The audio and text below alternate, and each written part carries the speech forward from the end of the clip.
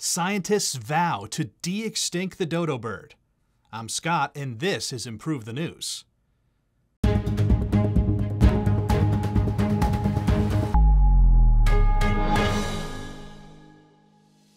The facts on this story are agreed upon by Independent, Business Insider, Axios, BBC Science Focus magazine, and BGR.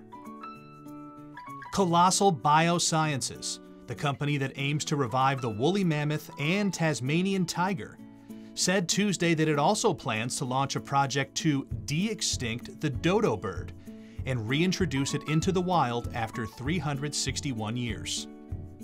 The billion dollar Texas based startup has raised another $150 million for the project for a total of $225 million, with the company now valued at $1.5 billion.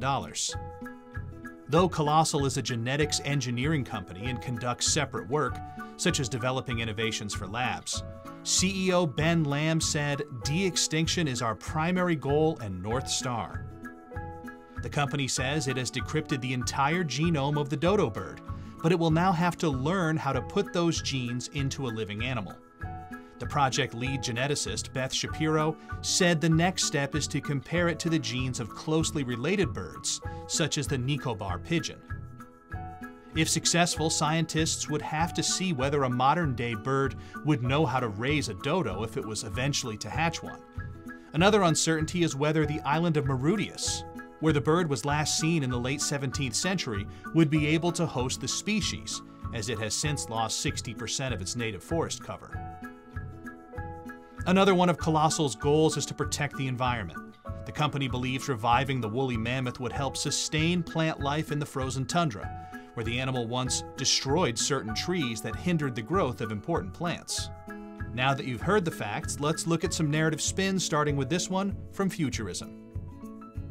De extinction projects won't just be for centuries or millennia old animals, as there are countless species currently dying out all across the world.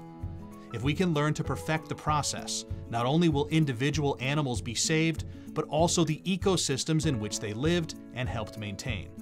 Look no further than Siberia, which used to be a grassland fertilized by the woolly mammoth. And we have another narrative spin from Newsweek. Though some value could be found in examining animals not seen for centuries, the negative consequences seem to outweigh the positives. Regarding animal safety, would these surrogate bird mothers be treated well or simply used and abused for the sake of human curiosity? And couldn't these resources be better spent on protecting the wildlife we currently have? Even if the intentions are good, conservation efforts should be prioritized over pet projects like these.